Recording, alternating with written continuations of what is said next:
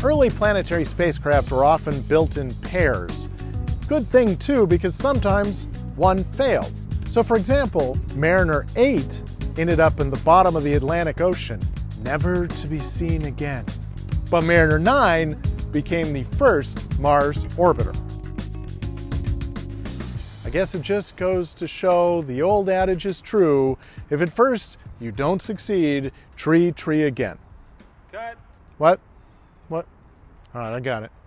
If at first you don't succeed, try, try a phlegm.